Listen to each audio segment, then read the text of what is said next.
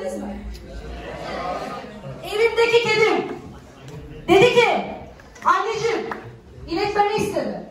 Anneciğim benim doğada var olma sebebim dünya olduğundan beri var. Belli bir dönem sonra gelmiş. Benden önce de başka canlılar vardı. Lütfen o güzel ablalarımı, abilerimi uyar. Bana, doğana vermesinler. Benim tüyüm bile gübre. Senin hiçbir atın gübre değil. O yüzden onları uyar bilinçlensin. Ben doğada var olmak istiyorum. Lütfen anneciğim